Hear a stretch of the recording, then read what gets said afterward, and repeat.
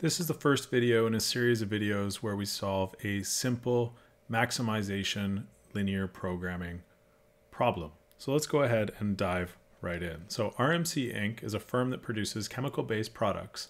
In a particular process, three raw materials are used to produce two products. The material requirements per ton are uh, the fuel additive and solvent base. So for material one, we need two-fifths of fuel additive, one half of solvent base. Material 2, we require zero fuel additive and one-fifth solvent base. And for material 3, we have three-fifths of fuel additive and three-tenths of solvent base. For the current production, RMC has available the following quantities of each raw material. Because of spoilage, any material not used for the current production must be discarded. And here's the number of available tons that are available for production. So material 1 has 20 tons, Material 2 has 5 tons, material 3 has 21 tons. If the contribution of the profit is $40 for each ton of fuel additive and $30 for each ton of solvent base, how many tons of each product should be produced in order to maximize the total contribution profit?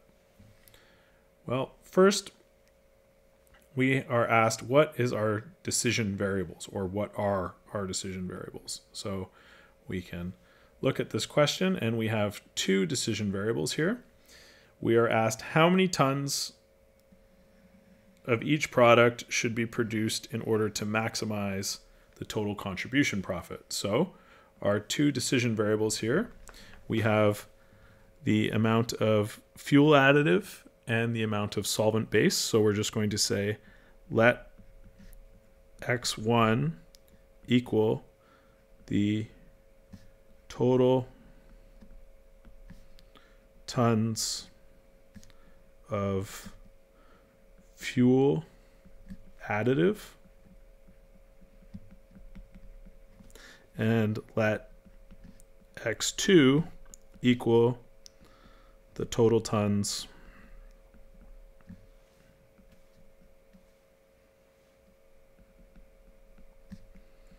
of solvent base.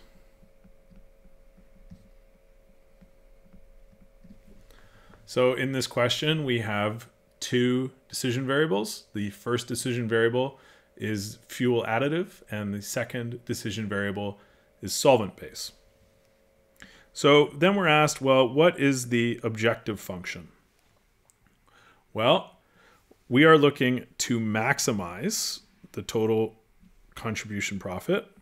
So our objective function is a maximization problem. So the max of z is equal to, well, we have two decision variables, fuel additive and solvent base. We're told that we get $40 for each ton of fuel additive. So we're going to write this as 40 times x1 plus $30 for each ton of solvent base plus $30 per ton of solvent base. So our max Z is equal to 40x1 plus 30x2. So this is question one, this is question two. And then finally, we're asked to formulate the model constraints. So let's go ahead and look. So we're told that we need two fifths of fuel additive for material one where we require zero for material two and three fifths for material three.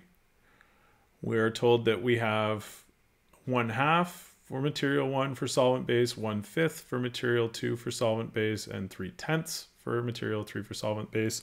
And more importantly, we're told that we have the following amount available as a maximum amount of raw material.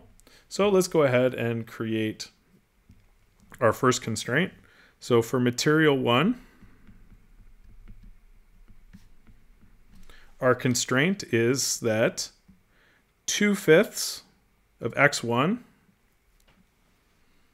so 2 fifths x1 plus 1 half of x2 must be less than or equal to the total number of tons we have available. In this case, the total number of tons we have available for material 1 is 20. So 2 fifths x1 plus 1 half x2 must be less than or equal to 20. Our constraint for material 2, so material 2, we require zero fuel additive, but 1 fifth of solvent base.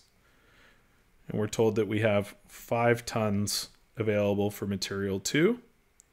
So we're going to write this as 1 fifth x2 must be less than or equal to 5.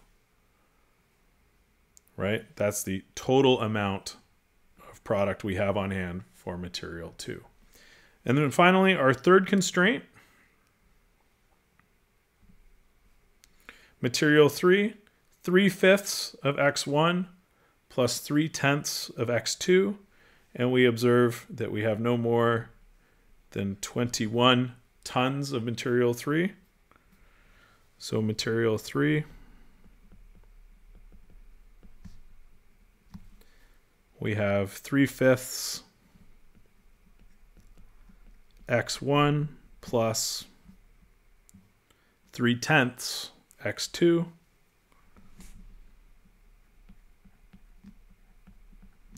must be less than or equal to the total amount we have available for material 3, which is 21.